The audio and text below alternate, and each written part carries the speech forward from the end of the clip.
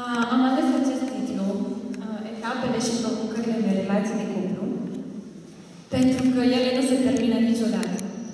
Mă refer uh, special la provocări.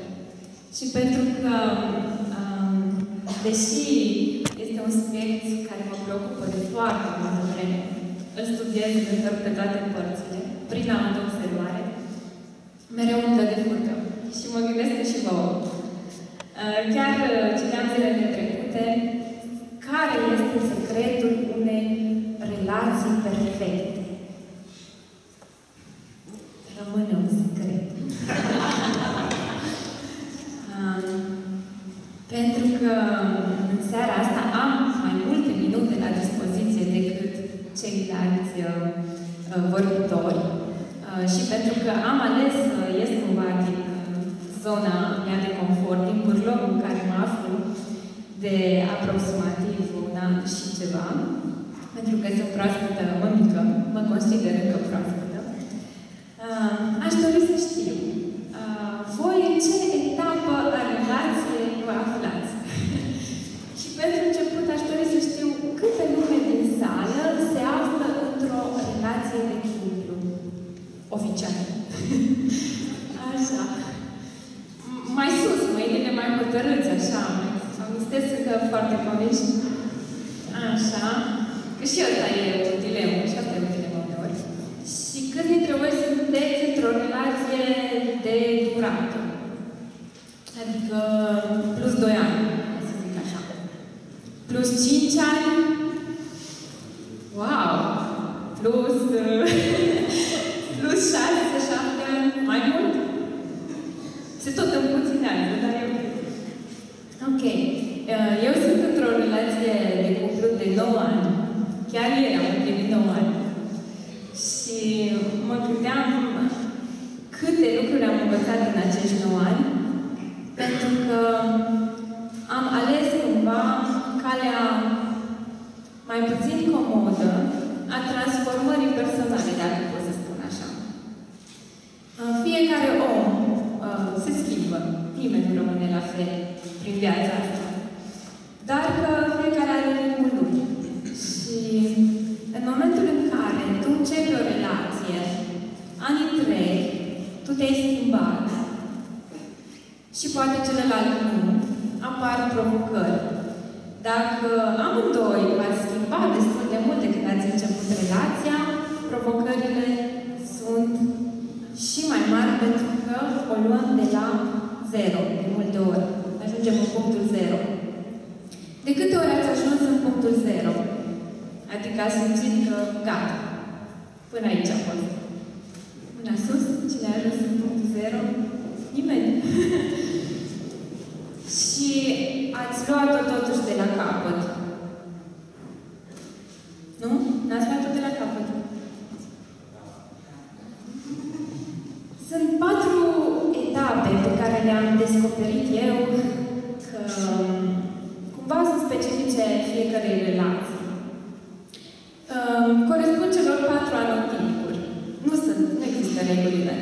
în, acest, în această privință, dar eu am fost foarte încântată când am descoperit. Am fost, wow, ce relații, ce tare sunt. Bineînțeles că după aceea am aflat că și alții s-au prins de chestiile astea.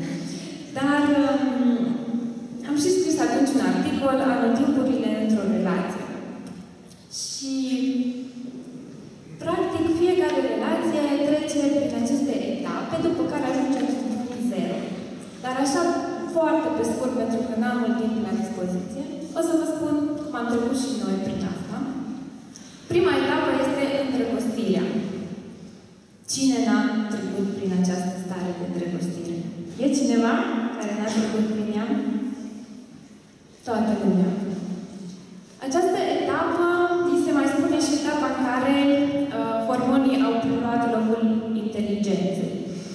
Uh, pentru că nu suntem foarte raționali și nici nu este nevoie.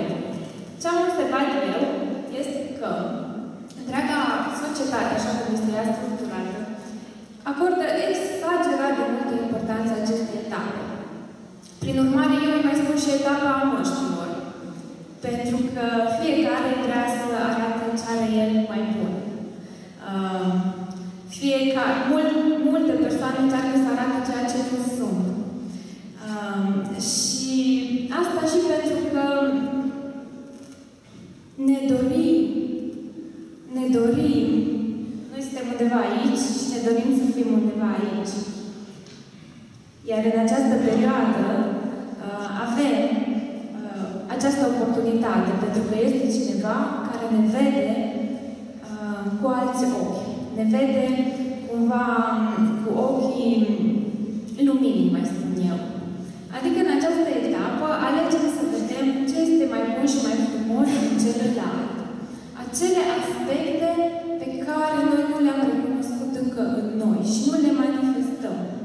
Ne-am dorit să le manifestăm, dar nu le manifestăm. Este de reflectat puțin la aspectul ăsta. Văd în celălalt și proiectez asupra lui tot ceea ce uh, eu nu manifest de multe ori. Ce pune la frumusețe, inteligență, whatever. Uh, a doua etapă este anotimpul verii. Eu îi mai spun și perioada dezbrăcării. Da? Vara ne dezbrăcăm. Dar nu ne dezbrăcăm doar corpurile, ne dezbrăcăm și sufletul. Dacă în această perioadă a verii nu ne dăm voie să ne dezbrăcăm, adică nu mă arăt cu totul așa cum sunt eu în fața ta,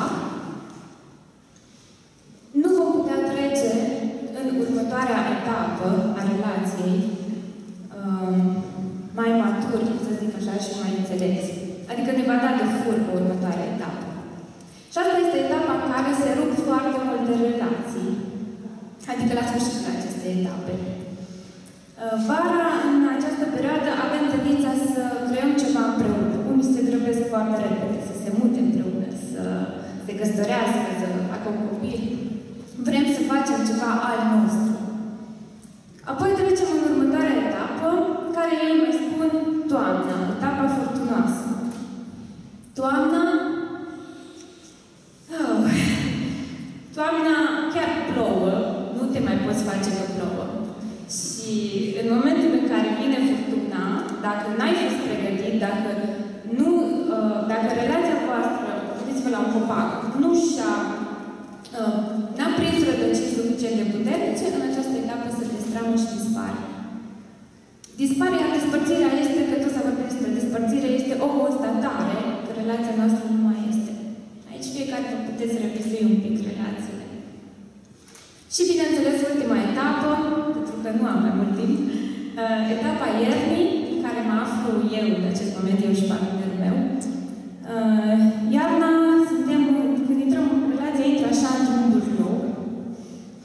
Multe aspecte care până atunci au primat trec în umbră, cum ar fi etapa în care apare un copil, relația trece puțin în spate, um, toată energia este canalizată înspre copil și aici apar o grămadă de provocări, pentru că uh, nu mai știm uneori ce se întâmplă cu noi. Ce am observat eu că secretul, dacă există un secret, este răbdarea. Răbdarea. De a trece prin aceste anotimpuri. Uh, iar iarna este momentul ideal să ne întoarcem la noi, fiecare să se întoarcă la el, să-și facă o revizuire și să vadă ce are el de oferit mai bun și mai prețios în această relație. Și bineînțeles, iarăși primăvara. Și aici vă recomand și un film corean, fără prea multe cuvinte. Genial filmul. Se numește Primăvară, Vară, Toamnă, Iarnă și iarăși Primăvară. L-a văzut cineva? Este un film super. Și iarăși primăvară. Și aici, în această etapă, ne dă voie să ne reîndrăgostim. Doar că de data asta, pregătiți pentru stratul următor de explorat. Provocările nu se termină niciodată într-o relație și e minunat că este așa, pentru că asta ne, asta ne face să fim mai înțelepți, mai maturi, asta ne ajută să evoluăm ca și ființă umană.